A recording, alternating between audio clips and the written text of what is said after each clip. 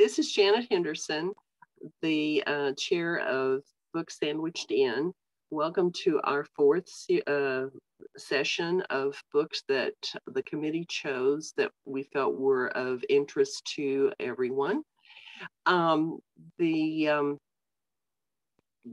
the there are two more um, books that will be reviewed the coming Mondays, uh, so uh, please continue to join us for those events. In the meantime, I'd like to introduce you to the two ladies who will be presenting our book today, The Queens of Animation, the untold story of the women who transformed the world of Disney and made cinematic history by Natalie Holt. Um, Melanie Hunter holds a bachelor's uh, and master's in English from the University of Tulsa. She spent 11 years as an assistant professor of English at Tulsa Community College. She finally decided to pursue her lifelong dream of being a writer and has completed more than 50 ghostwriting projects over the last couple of years while working on her own fiction and poetry. She works as a customer service associate with Central Library Circulation.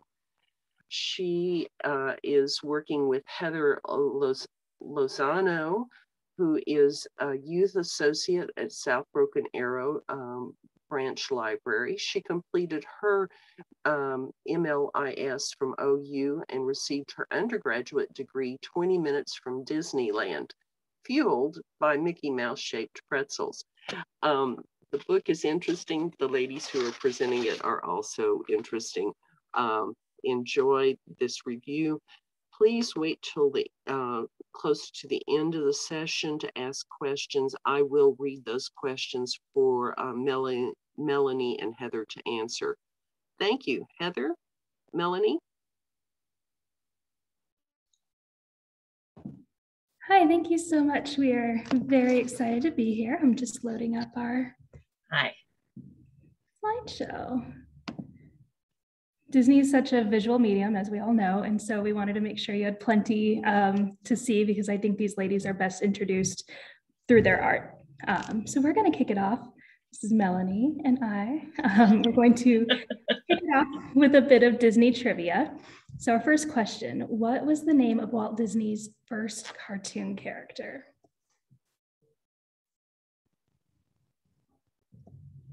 Oswald the Lucky Rabbit. And what does the acronym EPCOT stand for?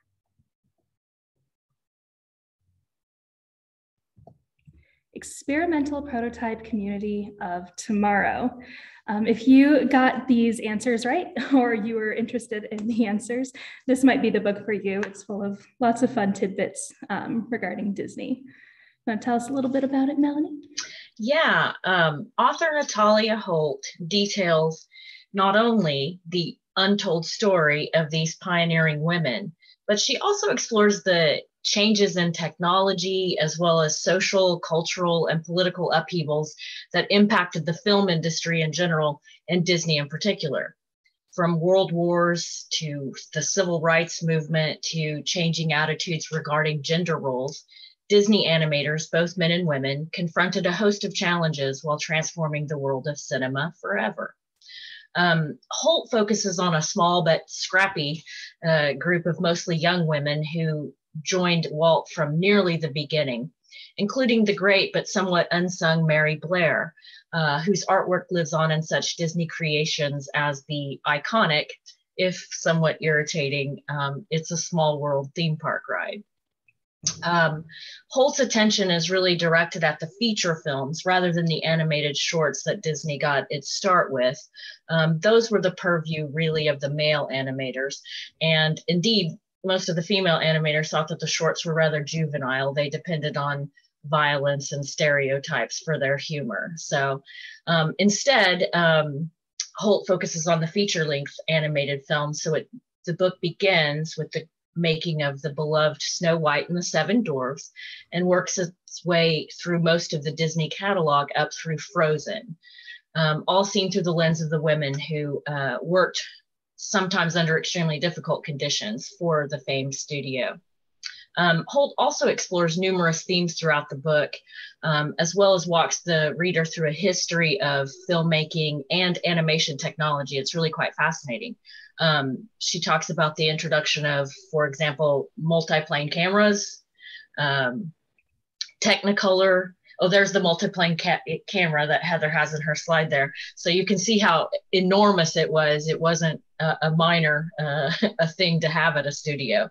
Um, she also talks about the advent of Technicolor, optical printers, Xerox machines, CinemaScope, which is widescreen, um, and surround sound, just to name a few. Um, also, what I find interesting is that ironically, the title, The Queens of Animation, it's taken from the nickname of the women who worked in the ink and paint department. These were the women who basically cleaned up the drawings of the main animators. However, the book focuses on the women who worked in the story department. Um, they were much more instrumental in the making of the films, including developing specific characters and creating the artistic uh, designs and the looks of the film and so on. So it's kind of ironic that the name comes from from the ink, and, uh, ink and paint department rather than the story department. But in any event, these women were all fascinating, and uh, we're going to talk about each one of them in turn. She focuses on five ma major uh, uh, employees, starting with Mary Blair. So Heather, give us some more information about Ms. Blair.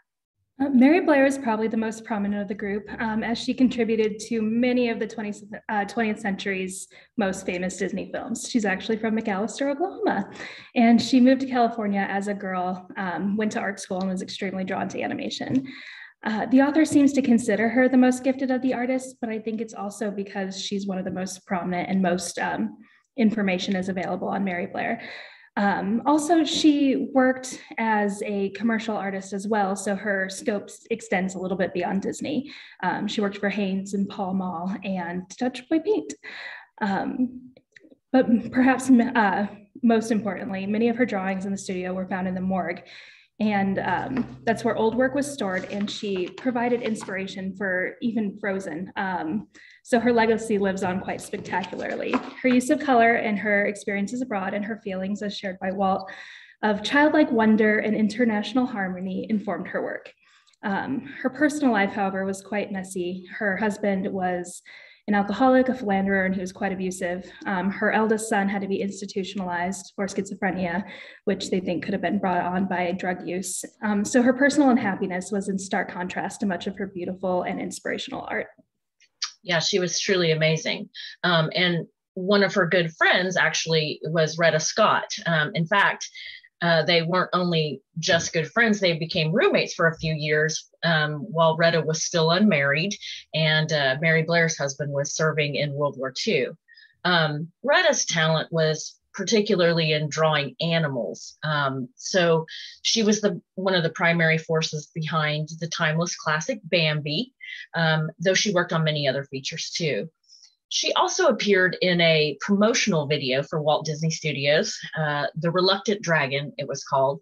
And uh, she likely provided inspiration for a whole generation of young girls who, you know, saw themselves uh, in the, the potential of becoming an, an animator as well. Um, she was also emblematic of the fact that Walt was very insistent that the females he hired have a very thick skin, and you know the, the males could be quite hard on them. Um, so while many of the women struggled to to uh, have themselves heard, Retta made her impact by designing a rather fearsome dog. I think you can see some of the outlines of it in the slide there um, for one of the rougher Bambi sequences. And while some people thought it might be you know, too overwhelming for the children who might watch it. Retta insisted it be kept, and uh, she made her voice heard. Um, Grace Huntington. In addition to her work on some of the classic films, Grace was an avid pilot and broke records um, to altitude several times. She was fascinated by airplanes and constantly disappointed that she was not allowed to play a bigger role in the aviation industry. She was bolder than many of her cohorts and she spoke up in meetings often, but was still um, found, finding her ideas disregarded by the men in the room. I think it's super interesting that if you look for more information on Grace, her Disney work is mentioned, but not a lot of her art. It's the aviation that she's most recognized for now. And I feel like the Grace we met in the book would beam with pride at that information. Absolutely, absolutely. Um, another one of the women that Holt focuses on is Sylvia Holland. Um, unlike the other four women that she focuses on, Sylvia was older when she was hired by Walt. Um, she was already a widow with two children.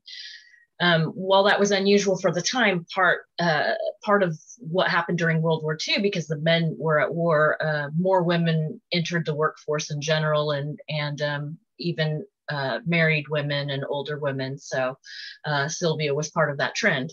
Um, she originally hailed from Britain, but she moved to Los Angeles for the health of her uh, young son. Um, her first major contribution to the studio was the lovely Waltz of the Flowers chapter in the original Fantasia. Um, but she also wrote the original adaptation of The Little Mermaid way back in 1941. So uh, that idea was around a long time before the film, of course, actually got made. And then finally, Bianca Majolie. Um, while Bianca was the first of the group at the studio, she was also one of the first to leave permanently. Many of the other women were laid off, lured away, or otherwise professionally or personally occupied for parts of their career. And although they came back to Disney when money or projects were available, um, she was actually born in Italy, and thus she was an incredible asset in the making of Pinocchio, as she could read the book in the original Italian and soften the originally very disturbing tale. Yeah, and you can see from the slides how um, distinct all of these women's um, artistic creations were. So they were quite varied in in in their contributions. Um, and as I mentioned before, you know they often worked under incredibly difficult conditions. Sometimes the harassment could be quite intense. Um, and Heather, I know you were really struck by the opening scene of the book. The book opens with um, Bianca giving an idea in the story meeting and it being very poorly received, so poorly, in fact, that, that they chased her down the hallway, literally broke down her office door, and started screaming, This won't do. And I thought it was a dream sequence because it just seems so absurd that someone would react that way to an idea they didn't appreciate. But this is what she had to deal with. It was what actually happened to her. So I mean, it wasn't all bad. The golden age of Disney brought with it great success and innovation. Um, even against the backdrop of the Great Depression, Disney was successful, right? Yeah, um, it was interesting because the shorts that Disney produced in the early period um, against the backdrop of the Great Depression were quite successful. They were kind of a respite from what was going on in the country, the despair and and the financial um, crash. Um, people needed entertainment. Uh, so, and in fact, actually, um, the technique that Walt used for his original short, Steamboat Willie, was so successful and innovative that the technique became known as Mickey Mousing. Um, so, therefore, it didn't take long for Walt to see that a feature length animated film would be successful if potentially you know expensive and difficult which it was thus snow white and the seven dwarfs was born. Um, though other movies could easily have been first um, at the studio i mean they were talking about bambi and pinocchio in those early years as well. But there was something about snow white that really captured walt's imagination and so that was the first uh, feature length animated film um, which premiered in 1937 um, and uh, even though many women at the studio were uh, involved in the making of Snow White, only two received on screen credit for their work. Um, and it was also interesting that famously one of the women who worked in the story department, Dorothy Ann Blank, she was actually a secretary. There you could see her there. Uh, she was a secretary who also did some more important things as as she became uh, as her intelligence and and uh, was recognized and so on.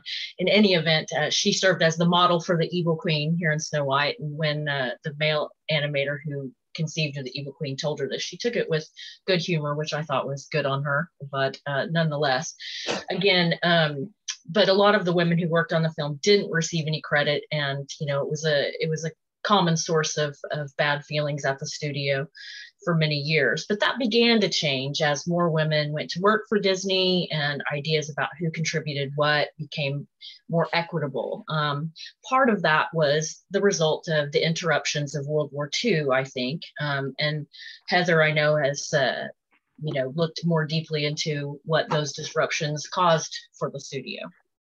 Yes, um, World War II definitely brought disruptions around the world, of course. Um, I, I, think one of the beginning disruptions for Walt personally was it put a stop to his um, escapist project of Alice in Wonderland, but that was just a harbinger of what was to come. Um, the good thing for the women was that it did open up some jobs after a layoff, but the more difficult part is instead of focusing on um, feature films and more creative options, they were asked to make um, commercials and more propaganda. Um, Victory Through Air Power is a best-selling, though extremely controversial um, novel that was adapted into a movie and was pitched as you know the answers to every question America had regarding Pearl Harbor, and um, it lost the studio half a million dollars. Um, but um, Disney had some success in the post-war years, though they did have a lot of trouble during it, uh, most notably with Cinderella and Peter Pan. But there were absolutely some missteps, don't you think? Yeah, yeah, absolutely. Um, after the war, I think one of the uh, major missteps was Song of the South, which, as soon as you say it, I think everybody kind of cringes a little bit. I mean, it was released in 1946, it inspired protests. Um, it's typically considered the biggest embarrassment for the studio. Um, Song of the South was based on the Uncle Remus stories and its deeply problematic portrayal of African Americans made it one of the most infamous Disney features of all time. Notably, it was never, like all the other Disney classics, released to any home video format. Um, the author does suggest that Mary Blair attempted to show some more nuance about what life was really like in the South, but any, you know, negative um, information was cut from the final film. Walt seemed to have a blind spot about this for, for whatever reason. Um, and this wouldn't, of course, be the last time that Disney would run afoul of racial sensitivity and nuance, um, even yet to this day, right? Uh, Peter Pan, when it was released in 1953, would come under fire for its portrayals of the Indian camp of Neverland, um, basically, which trafficked in Native American stereotypes and uh, essentially homogenized the enormous diversity of indigenous groups into one very broad caricature. So that was uh, one of the problems with Peter Pan. But also, Tinkerbell caused some controversy. Here we go. Uh, she partly because she was she was a fairy um, but they drew her they portrayed her as a full grown woman with curves and everything else and a, a very modern haircut and so that caused a little bit of discussion. Um, in addition, her temperament, as you can see from the slide here, was a little bit naughty, and uh, she expressed herself very uh, openly, even if she didn't speak. And the male animators were not always happy with this um, kind of outspoken and uh, temper temper tantrum prone character. Um, but it wasn't all bad at this time either. Uh, oh, that's right. I forgot about this. Thank you, Heather, for pulling up that slide. Yeah, this wasn't the first time that, you know, there was some controversy over how uh, female characters were portrayed. When you go all the way back to Fantasia, Fantasia, you have the female animators, their uh, example there on the left, creating fairies who um, were basically uh, these pure ephemeral creatures um, even in their nakedness, they looked innocent and, and gentle. Um, while the male animators famously created the centaurettes, which are, you know, sexualized, coquettish versions of, of centaurs.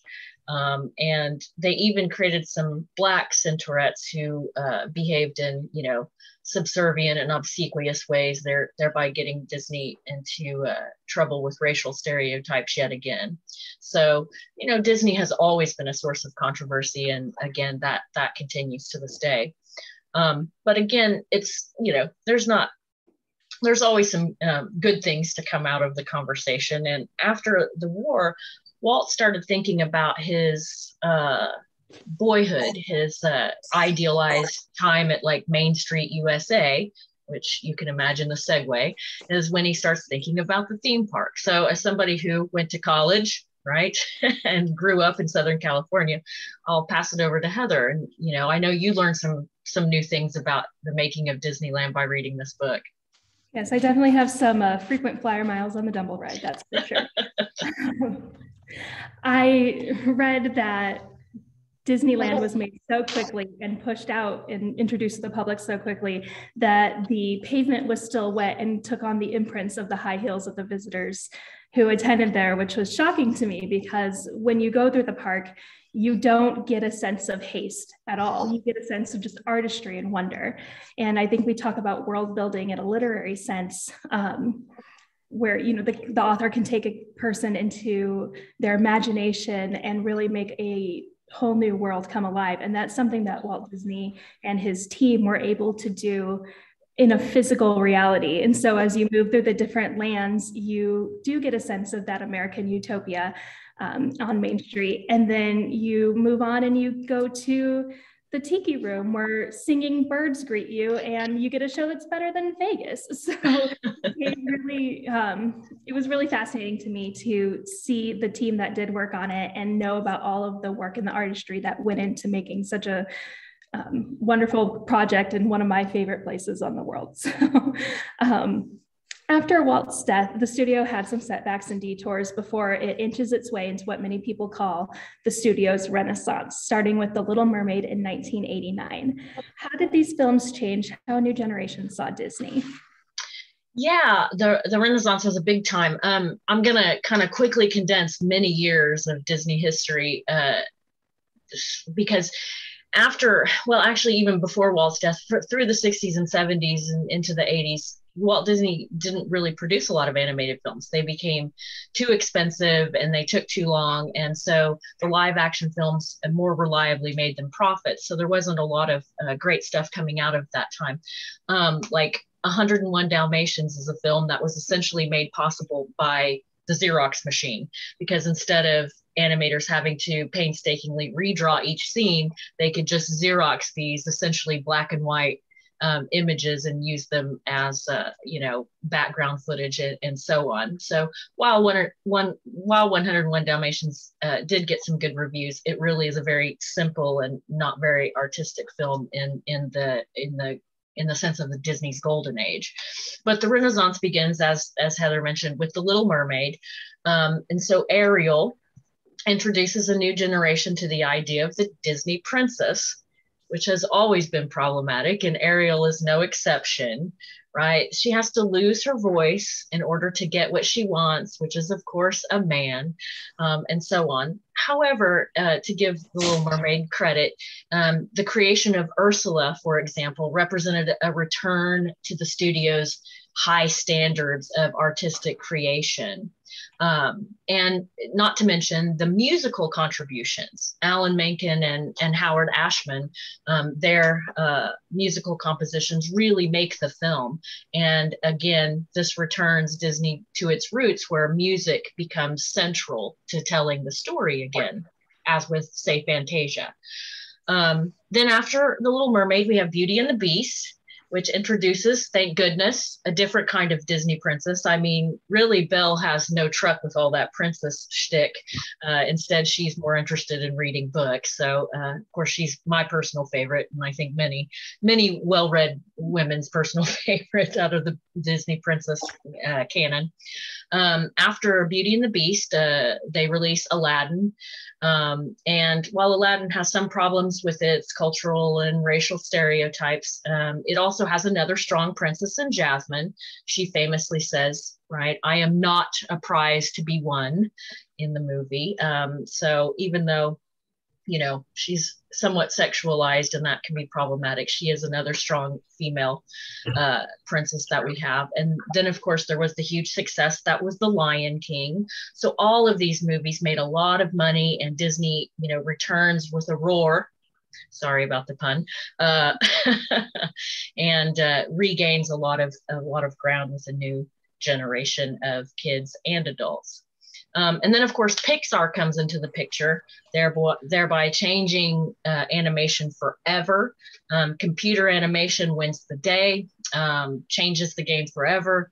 Uh, Toy Story, the original Pixar uh, feature length film, uh, not only changed how animated films were made forever, but also heightened the quality of storytelling um, in the opinions of many people, mine included. And what's important is that women were instrumental in the making of all of these films, none more so than the phenom uh, that is the little film called Frozen. And um, Heather, as someone with a four year old daughter, uh, is the one more well equipped to talk about how important Frozen has been to a whole new generation of kids and parents alike. Yes, when Frozen first came out, I was working at an elementary school and I would find clusters of little girls sitting in circles, holding hands, singing Let It Go. It was adorable. and then um, almost 10 years later, here comes Frozen 2, and it's still just as exciting um, to a whole new group of kids as is the original Frozen. Um, my daughter's four, and she's you know, just as excited about it as you know the kids 10 years ago were. Um, and it's a phenomenon, not just because of the music, but also because the the story is so different. We don't have a princess anymore. We have a queen who famously said, You can't marry a man you just met. Um, so it kind of flips the switch. And then we have um, this queen who is asked to express herself in order to move forward in her story. Um, she's not searching for a romantic partner, she's searching for sisterly love. And that's what saves the day. Um, then we have Princess Anna, who is endlessly optimistic and she's adventurous and she is so loyal. And they've created a, a group of women that I want my child to look up to. Um, and I think that would be impossible without the five women we talked about. Um, it's not just the art that they inspired, they set the stage for a strong vocal woman to be in a story, um, to be someone we celebrate as a group um, because they came in and they said, no, we have a voice, we have talent, we have intellect, and they were able to change how Disney um, operated, really. Um, they brought success to Disney and they brought an idea into our minds that this is what women can become.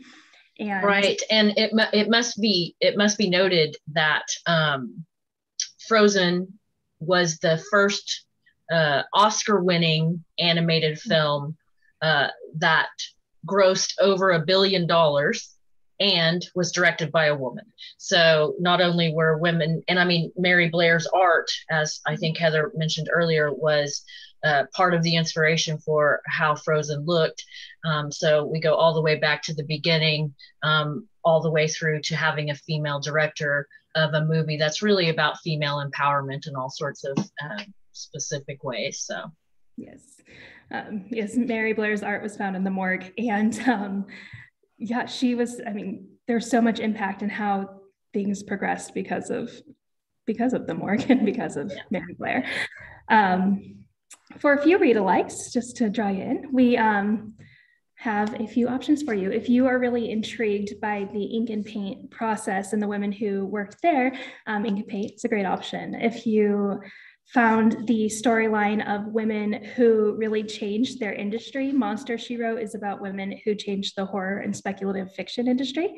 Um, if the actual art behind the um, the movies is what is really drawing to you. Wild Minds goes through the artist and the um, techniques that changed animation. And then um, the hidden art of Disney's golden age is called the they drew as they pleased. Um, it's where I found a lot of the art that we found um, to present to you, and it's it's a fantastic little book.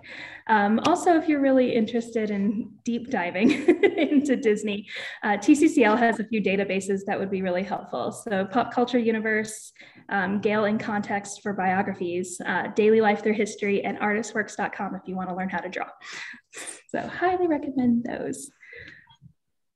All right, do we have any questions?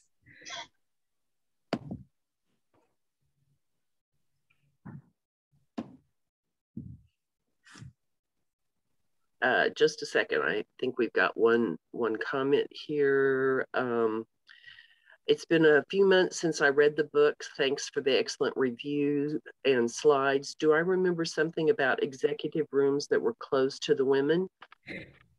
Yes. Uh, okay. Um, Care to expand on that? Yes, I think that is, you know, would have fit really well in the harassment section.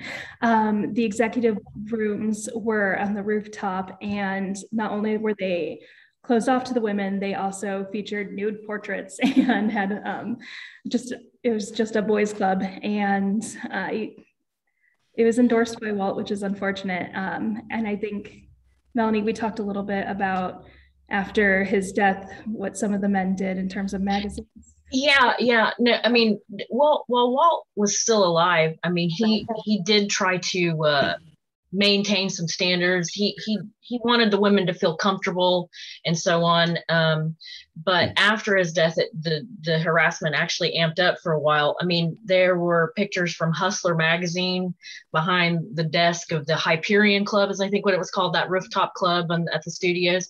And, uh, and in fact, actually, one of the female employees, this was during the 70s, she started uh, posting pictures of of uh, out of Playgirl of nude men for a while and it took them a while to figure out that she had pulled this prank. But once they figured it out that that stuff came down. So women were actually speaking out against this stuff as well. Um, and then of course you know in the modern era we have the the me too movement which is still you know very active and and very important in hollywood in general um, you know i know that uh, there have been um, hollywood i mean uh, some i can't remember which one of the Pixar directors was accused of, of sexual harassment. And John Lasseter, I believe, um, one of the original guys who worked on Toy Story. So, you know, he's had some comeuppance as well. So, in any event, that the harassment from them breaking down uh, Bianca's door in the beginning, and then they put a pig underneath uh, I think Grace's desk um, to the you know images from Hustler and the Men's Only Club to the Me Too movement today. Disney's still dealing with the legacy as most Hollywood studios are. Okay. Um, I I've lost I've lost the screen. Um, is uh, does someone else have a question? Yeah, I think yeah. I, oh, sorry. um, Barbara says, nice job. Did you hear Gladwell's program on The Little Mermaid? I have not, but I will now. yeah, yeah. No, it sounds interesting. No, I haven't heard it either. Barbara, if you could put in the chat if that is on YouTube or where people can listen to that. I'm sure we have a lot of Malcolm Gladwell fans. He's excellent. and a question from Marion. In the modern era, are the animations actually drawn? Um, are they drawn? Are they hand drawn or is it computer animation? I believe it's a combination of both. I think mostly it's commuter, uh, computer animation. There was just recently released um, a film that was hand drawn and that was really exciting. I can't remember which one, but I know that it's um, a newer one. Um, but yeah, I think a good majority of the work is done through animation just for the cost effectiveness of it. Um, takes much smaller team to do it that way. Right, sure. right, absolutely. And yeah, Heather, I know what you're.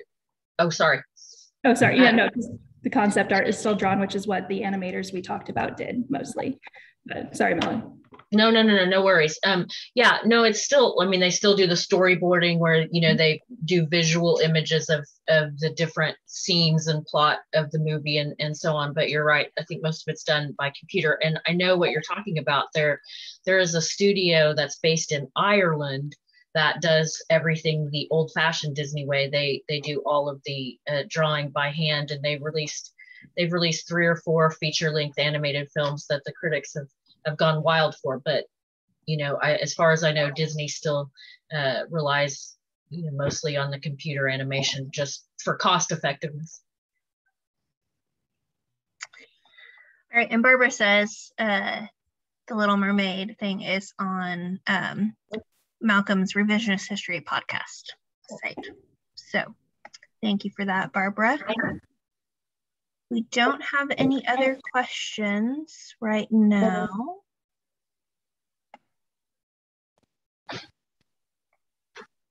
All right, that looks like that's all the questions.